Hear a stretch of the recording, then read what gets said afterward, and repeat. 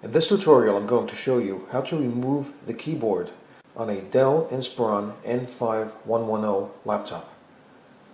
Okay, now what you have here is a series of clips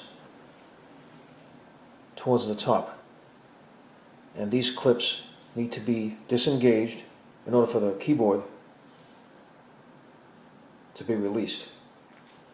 Okay, now what you're going to need are tools.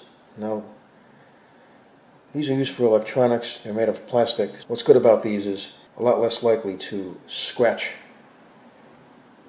the keyboard when you're removing them.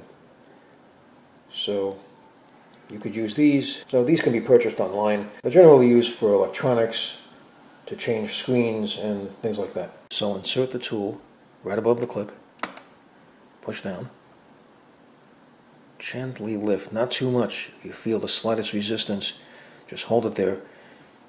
And while you're doing that, go to the next clip to the left.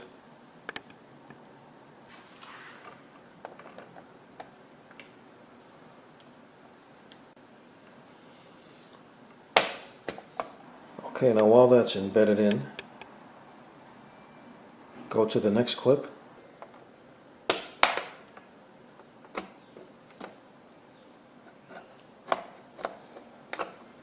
Just slide it across like that.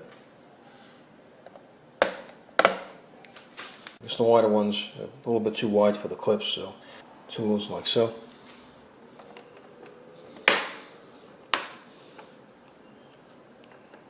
Okay, this part is released. So just slide that across.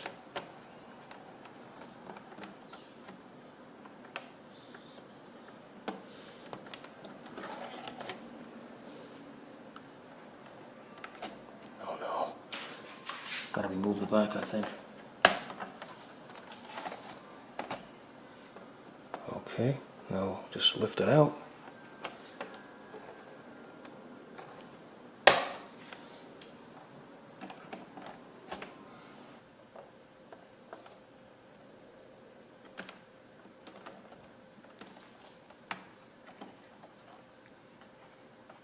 Now just lift up. There you go. Now right here is a ribbon cable. And you have a clamp. Take the tool, lift up the clamp, and release the cable.